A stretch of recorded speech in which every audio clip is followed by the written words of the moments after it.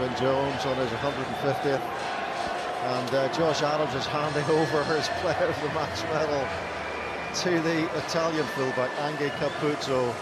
He says, no, you keep it, mate, I think, did he? I think he did, yeah. What a gesture.